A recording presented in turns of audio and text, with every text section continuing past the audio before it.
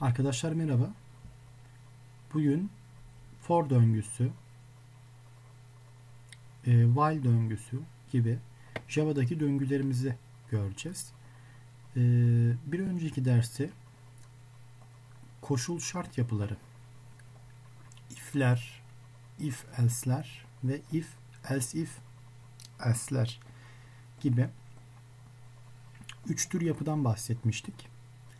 Bu dersimizde ise e, bir Java programında en çok kullanılacak olan e, for döngüsünden bahsedeceğiz. Yeni bir proje açalım. Yeni bir Java projesi oluşturalım.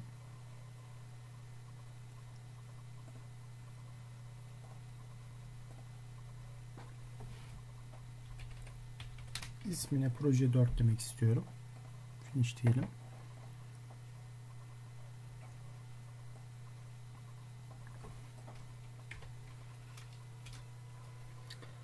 Biz öncelikle kolay bir takım e, işlemlerden başlayalım. Integer a eşittir şöyle 5 diyelim. E, ve for diyelim.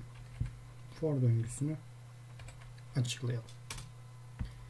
Şimdi öncelikle en çok kullanılan döngülerden bir tanesi for döngüsüdür. Ee, bir döngü gördüğünüz gibi kıvırcık parantezle açılır, açıldı, kıvırcık parantezle kapatılır. Curly bracket deniliyor buna. E, açıldı, kapandı. Biz bunun arasına e, for döngümüzün içerisinde yer alan kodları yazacağız. For döngümüzde ana kriter şudur. For döngüsü açılır. Şöyle başlatılır. Ve şurada kapatıldığını varsayalım. Şurada kapatıldığını varsayalım. Burada da şu nokta nokta nokta nokta nokta nokta yazdığımız yerlerde de çeşitli kodlarımız var. For döngüsünün en önemli özelliği bir başlangıç değeri vardır. Biz buraya şöyle yapalım. Bir başlangıç değeri vardır. Noktalı virgül konulur. Bir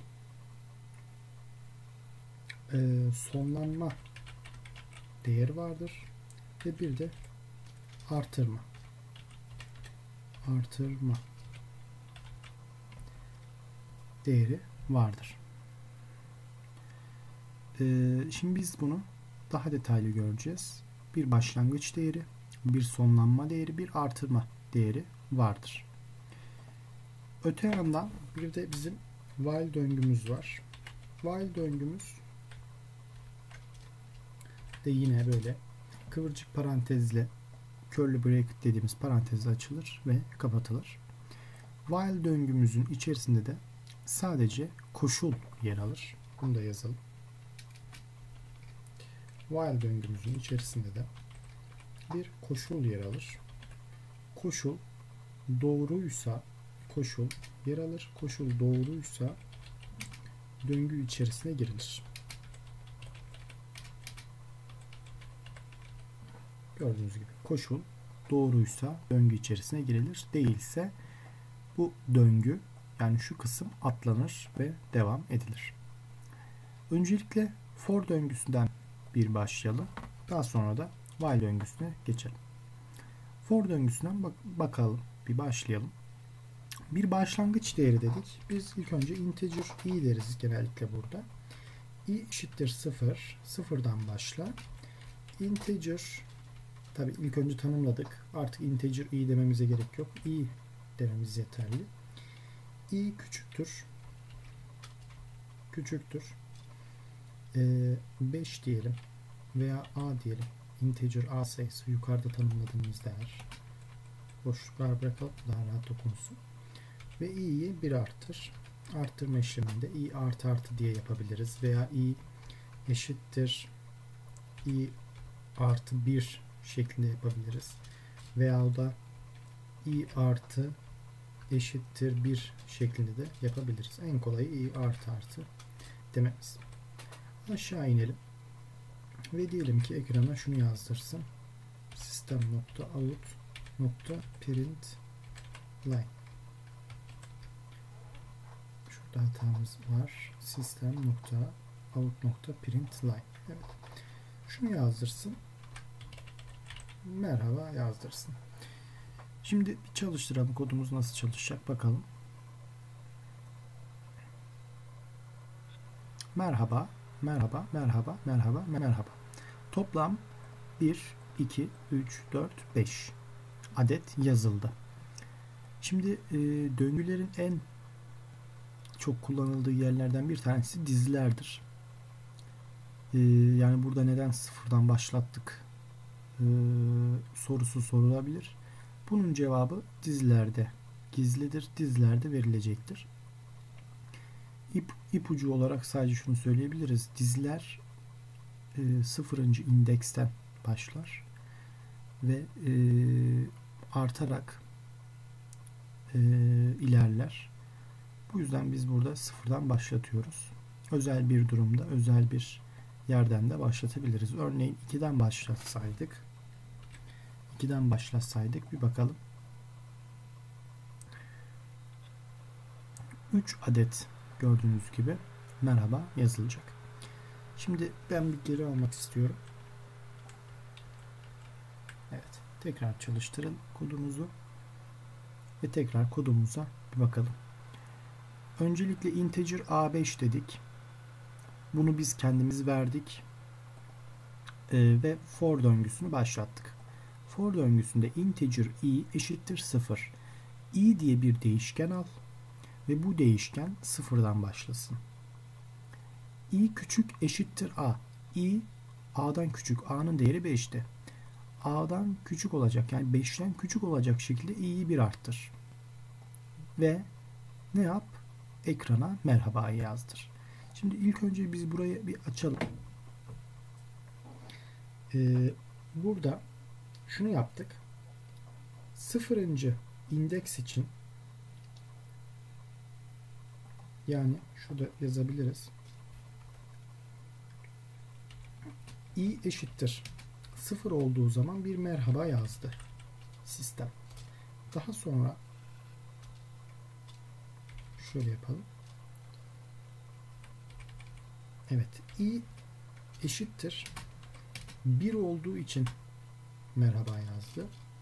Daha sonra i eşittir 2 olduğu için yine merhaba yazıldı. i eşittir 3 olduğu için bir merhaba yazıldı. i eşittir 4 olduğu için bir merhaba yazıldı. Yani neden 5 adet merhaba yazıldı? Çünkü i'yi bir sıfırdan başlattık. 1 merhaba, 2, 3, 4, 5. O yüzden burada 5 adet merhaba çıktısını elde ettik. Yine aynı şekilde biz buradaki e, i eşit i küçüktür a yani i 5'ten küçük olacak şekilde demek yerine şurada bir e, eşittir işareti yapsaydık şurayı silmek istiyorum. Eşittir işareti yapsaydık hemen bakalım. 1, 2, 3, 4, 5, 6. Şimdi neden 6 oldu? Bu kez dedi ki i 5'ten küçük olabilir veya da eşit olabilir. Ee, beşinci içinde yani biz burada hemen göstermek istiyorum. Daha demin i 4 için demiştik. Ve bu kez dedi ki i 5'te olabilir. Bu yüzden 6 adet merhaba yazdı. Genellikle burada herhangi bir eşitlik söz konusu değildir. Bunu şöyle yaparlar. İ küçüktür a veya i küçüktür başka bir değer olarak verirler. Şimdi aynı kodu biz while döngüsüyle yazmak istersek nasıl yazmamız lazım? While döngüsüyle while döngüsüyle yazalım.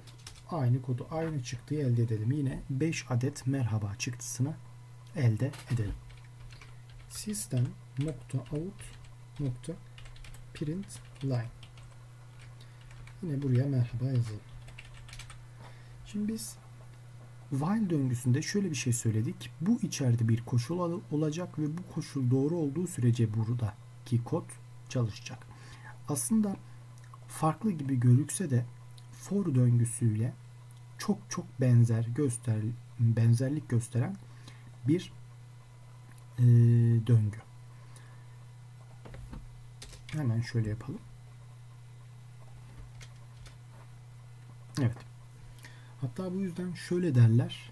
Her for döngüsü, her for döngüsü while döngüsüne dönebilir. While döngüsüne dönebilir. Ama her while döngüsü for döngüsüne dönemeyebilir. Ee, bunu da bilgi olarak verelim. Şurada da tanımlayalım. Yine bu kez integer i tanımlamıştık. Burada da bir i tanımlayalım. Sıfırdan başlatalım. Ee, ve e, şöyle bir şey söyleyelim. i küçüktür küçüktür a'da olacak şekilde i'yi de şurada i'yi de burada bir arttıralım. Tamam Ve tekrar bakalım kodumuz çalışacak mı? Yine 1, 2, 3, 4, 5. 5 adet ee, merhaba yazdırdık ekrana. Burada ne yaptık? Hemen onu söyleyelim. For'da for'un içerisinde başlatıyorduk. i'nin kaçtan başlayacağını. Yine for'da bundan hemen sonra i'nin bitiş sonlanma aralığını veriyorduk ve bundan hemen sonra da i'nin artma durumunu veriyorduk. Biz while döngüsünde while döngüsünde bunu böldük. Nasıl böldük? Artma değerini içeri verdik. Başlanma başlangıç değerini while'dan önce verdik. Çünkü bir integer i tanımlı olsun. Sıfırdan başlasın ve koşulumuz doğru olduğu sürece buraya gelecekti. Doğru olmadığı için ne oldu? 5'ten sonra 5 küçüktür 5 mi? Hayır. Değil mi? 5 küçüktür 5 değil. O zaman ne oldu? Buradan çıktı. Yani döngümüzden çıkış yaptı. Biz dediğim gibi bu döngüler konusunu en çok kullanacağımız yerlerden bir tanesi diziler. Dizilerde kullanacağız. Öte yandan biz yine şuraya eşittir işareti eklersek yine ekranımızda bu kez i5 içinde merhaba yazdıracağı için yani i0 merhaba, i1 merhaba, i2 merhaba, i3 merhaba, i4 merhaba, i5 merhaba yazabiliriz. Hatta biz bunu şöyle daha güzel yapalım. System nokta out nokta print line değil bu kez print demek istiyorum. Ee, şöyle yazalım. i eşittir diyelim.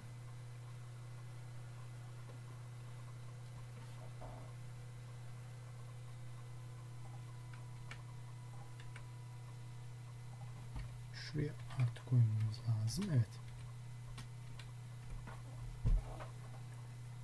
Bir çalıştıralım. Evet gördüğünüz gibi 0 için merhaba, 1 için merhaba, 2 için merhaba, 3 için merhaba, 4 için merhaba, 5 için merhaba yazıldı. Şuradaki eşittir ifadesini silersek bu kez gördüğünüz gibi 5'i almayacak.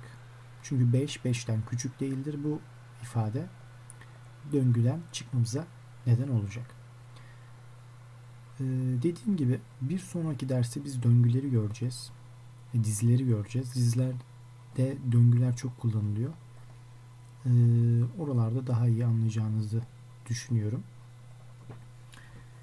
Bir sonraki ders görüşmek üzere. Hoşçakalın.